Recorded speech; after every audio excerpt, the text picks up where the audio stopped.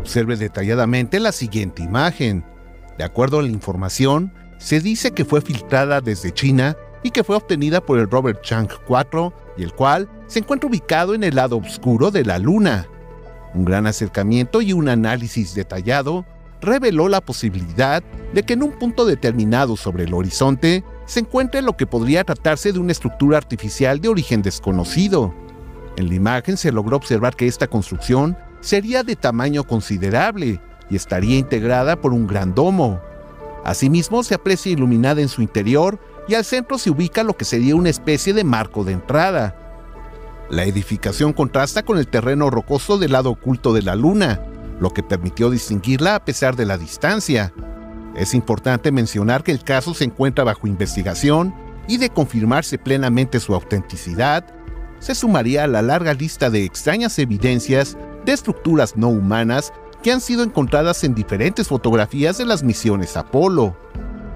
El investigador George Leonard, en su libro ¿Hay alguien más en la Luna?, en un análisis de una imagen de la misión Apolo 16, tuvo la oportunidad de ubicar lo que parece una construcción artificial en donde se aprecia una plataforma que contiene una especie de torre. La base es circular y no parece de origen natural. En otro punto encontró lo que parece claramente una antena de tipo parabólica.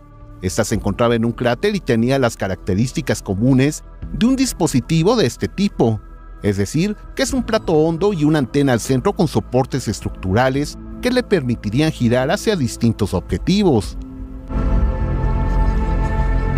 Más tarde, el autor Alan Storm, al analizar diversas fotografías, encontró indicios de estructuras complejas en la Luna, motivándolo a publicar el libro titulado como Hulos, es decir, objetos lunares no identificados. En las fotografías de la misión Apolo 8 encontró claramente formas geométricas perfectamente ordenadas y alineadas, como en esta imagen que ha sido retocada en colores para distinguir cada uno de los elementos que la componen. Del lado derecho de color amarillo observamos lo que parece un puente arqueado que proyecta su sombra en la superficie. Al centro una base de color naranja y sobre ella un conducto que entra y sale como si se tratara de una tubería. Y del lado izquierdo en color amarillo un muro escalonado.